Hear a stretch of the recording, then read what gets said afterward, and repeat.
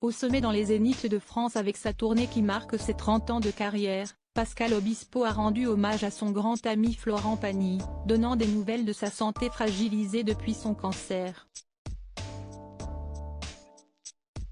Pascal Obispo fait un retour en force sur scène avec sa tournée des grandes salles pour célébrer ses 30 ans de succès.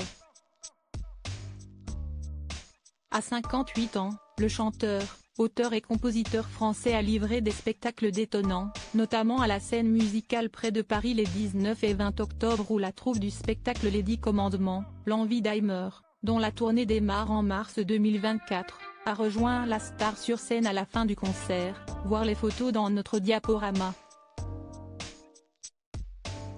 Il assure le show à travers la France comme Rouen où le Parisien a pu le rencontrer et recueillir ses impressions d'artiste. Pour marquer le coup et pas des moindres puisqu'on parle de trois décennies de musique et une multitude de tubes puissants, Pascal Obispo s'est entouré du saxophoniste jazz Max Pinto comme directeur artistique.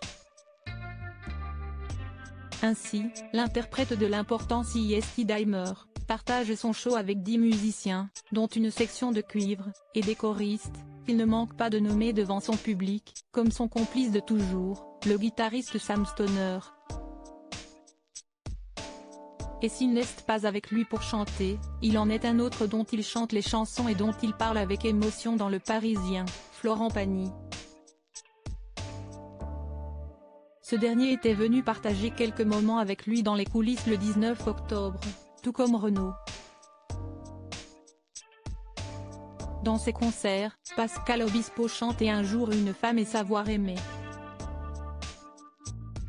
un titre qui a tout changé, comme il l'explique au micro devant les spectateurs, sans Florent, Pagny, qui s'était battu pour l'imposer à sa maison de disques, je ne serais jamais devenu compositeur pour les autres, je ne serais pas là aujourd'hui. J'ai parlé avec lui tout à l'heure. Il va bien et vous embrasse très fort. Souffrant d'un cancer du poumon depuis plus d'un an et demi, le chanteur de 61 ans voit aujourd'hui les résultats positifs de son traitement. Ainsi, il a eu l'accord de ses médecins pour remonter sur scène comme il l'attendait tant. Si est au mois de juin dernier qu'il a enfin pu renouer avec son public, juste après avoir été pris d'un malaise qui l'a fait chuter. Pascal Obispo a également séduit avec son duo avec l'italienne Giordana Angi, J'étais pas fait pour le bonheur, qui a enflammé la salle.